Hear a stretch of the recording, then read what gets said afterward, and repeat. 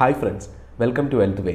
ഞാൻ Ramzan. Stock market ഇൻവെസ്റ്റേഴ്സിന് ഏറെ സന്തോഷം പകരുന്ന ഒരു കാര്യമാണ് ഇന്ന് നിങ്ങളുമായി പങ്കുവെക്കുന്നത്. കഴിഞ്ഞ ആറ് മാസമായി ഇന്ത്യൻ സ്റ്റോക്ക് മാർക്കറ്റിൽ തുടരുന്ന ശക്തമായ ഇടിവിന്റെ കാലം അവസാനിക്കാൻ പോകുന്നു. ജൂലൈയിൽ നിഫ്റ്റിയിലും സെൻസെക്സിലും ഉണ്ടായ മുന്നേറ്റം നൽകുന്ന സൂചനയാണിത്. നിഫ്റ്റിയും സെൻസെക്സും കഴിഞ്ഞ ഒരു മാസത്തിനിടെ എട്ട് ശതമാനത്തിലേറെയാണ് കുതിച്ചുയർന്നത്. ജൂണിലെ പതിനയ്യായിരത്തി ഒരുന്നൂറ്റി എൺപത്തി മൂന്ന് എന്ന ലോ ലെവലിൽ നിന്ന് തിരിച്ചു കയറിയ നിഫ്റ്റി പതിനേഴായിരത്തി ഒരുന്നൂറ്റി അമ്പത്തെട്ട് എന്ന ലെവലിലാണ് ഇന്ന് ക്ലോസ് ചെയ്തത്. സെൻസെക്സ് ഒരു മാസത്തിനിടെ അമ്പതിനായിരത്തി തൊള്ളായിരത്തി ഇരുപത്തൊന്ന് എന്ന ലെവലിൽ നിന്ന് കുതിച്ചുയർന്ന് അമ്പത്തി ഏഴായിരത്തി അഞ്ഞൂറ്റി എഴുപതിലാണ് ഇന്ന് ക്ലോസ് ചെയ്തത്. ഓഹരികൾ കൂട്ടമായി വിൽപ്പന നടത്തിയിരുന്ന വിദേശ നിക്ഷേപകർ തിരിച്ചു വന്നതാണ് വിപണിയുടെ മുന്നേറ്റത്തിനുള്ള പ്രധാനപ്പെട്ട കാരണം. ജൂണിൽ അമ്പത്തെട്ടായിരം കോടി രൂപയുടെ ഓഹരികളാണ് വിദേശ നിക്ഷേപകർ വിറ്റൊഴിവാക്കിയത്. മെയ് മാസത്തിൽ അമ്പത്തിനാലായിരത്തിലേറെ കോടി രൂപയുടെ ഓഹരികളും വിറ്റിരുന്നു. പക്ഷേ ജൂലൈയിൽ വിദേശ നിക്ഷേപകർ വെറും ഏഴായിരം കോടി രൂപയുടെ മാത്രം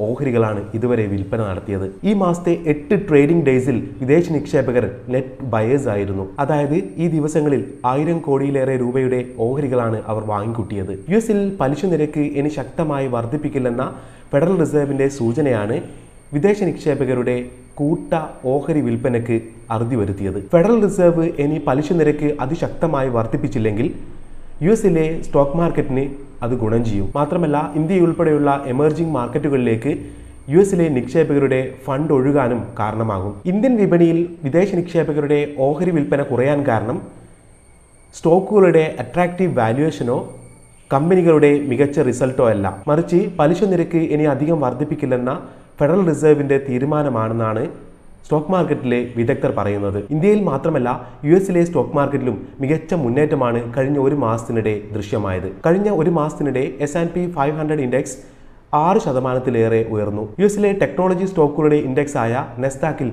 എട്ട് ശതമാനത്തിന്റെ മുന്നേറ്റമാണ് ഉണ്ടായത് ഡോ ഇൻഡസ്ട്രിയൽ ആവറേജ് നാല് ശതമാനത്തിലേറെയും മുന്നേറി. പലിശ നിരക്ക് ഇനി അതിശക്തമായി വർദ്ധിപ്പിക്കില്ലെന്ന സൂചനകളാണ് ഈ മുന്നേറ്റത്തിനെല്ലാം കാരണം. സ്റ്റോക്കിലോ ഇൻഡെക്സിലോ ഇരുപത് ശതമാനത്തിലേറെ ഇടിവ് നേരിട്ടാൽ ബിയർ മാർക്കറ്റായി മാറും. യു എസ് സ്റ്റോക്ക് മാർക്കറ്റ് ഇരുപത് ശതമാനത്തിലേറെ ഇടിവാണ് നേരിട്ടിരുന്നത്. ഈ ശക്തമായ ഇടിവിൽ നിന്നുള്ള തിരിച്ചുവരവ് വൻ പ്രതീക്ഷയാണ് ഇൻവെസ്റ്റേഴ്സിന് നൽകുന്നത്. ഉക്രൈൻ റഷ്യ യുദ്ധത്തോടെ പണപ്പെരുപ്പം രൂക്ഷമായതും കമ്മോഡിറ്റി പ്രൈസസ് ഉയർന്നതും ഇന്ത്യൻ സ്റ്റോക്ക് മാർക്കറ്റിനെ മോശമായി ബാധിച്ചിരുന്നു. ഇന്ത്യയിലെ ഐ ടി ബാങ്കിംഗ് സെക്ടറുകളിലെ ഓഹരികളിലാണ് വിദേശ നിക്ഷേപകർ ഏറ്റവും കൂടുതൽ വിൽപ്പന നടത്തിയത്. പക്ഷേ ഇന്ത്യൻ ഐ ടി സ്റ്റോക്കുകൾ ഇപ്പോൾ അണ്ടർ വെയ്റ്റ് ആണെന്നാണ് American multinational investment financial services കമ്പനിയായ മോർഗൻ സ്റ്റാൻലി പറയുന്നത്. പണപ്പെരുപ്പം നിയന്ത്രണ വിധേയമാവുകയും പലിശ നിരക്ക് അതിശക്തമായി വർദ്ധിപ്പിക്കുന്നത് സെൻട്രൽ ബാങ്കുകൾ നിർത്തുകയും ചെയ്താൽ അടുത്ത രണ്ട് ക്വാർട്ടറുകൾക്കുള്ളിൽ വിദേശ നിക്ഷേപകർ ഇന്ത്യൻ ഓഹരി വിപണിയിലേക്ക്